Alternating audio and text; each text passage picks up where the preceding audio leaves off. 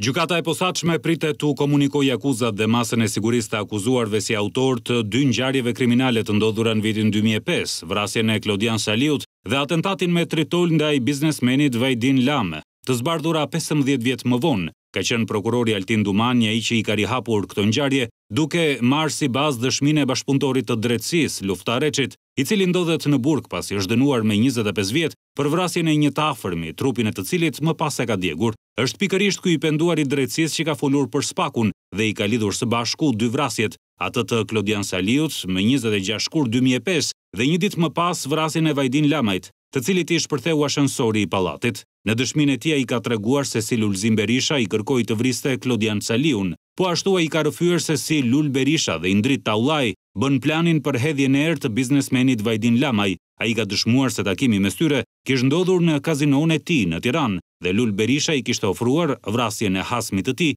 si pjesë e paktit mes tyre. Sipas tij, Luli sapo u sigurua që vrasja do të bëhej, iku në Turqi me qëllim që të mos dyshohej. Ai ka treguar se në çastin e vrasjes kishte një pistoletë, ndërsa Plarenti kishte një automatik. Dëshmitari ka shpjeguar më tej se Indriti ishte ulur në vendin e parë të pasagjerit, kurse Lenti në sediljen e pasme. Ai ka treguar gjithashtu se mes Vorës dhe Durrësit janë afruar dhe janë vendosur paralel me automjetin që drejtonte Klodi dhe nga dritarja e BMW-së kanë qëlluar me armë në drejtim të Klodit. Indriti me pistoletë dhe Lenti me Scorpions. Lidhur me ekzekutimin e biznesmenit Vajdin Lame, sipas Reçit, në shkurt të vitit dy mijë e pesë Lul Berisha kishte bërë planin së bashku me Indrit Taullajn dhe të dy bashkë kishin vendosur të hidhnin në erë Vajdin Lamajn në ashensorin e banesës së tij. Reçi tregon se minën me telekomandë që u përgatit në një garazh dhe mori në dorë Emiljano Shullazi. Sipas tij Shullazi ishte brenda një makine me ngjyrë të errët bashkë me një vajzë kur mori bombën.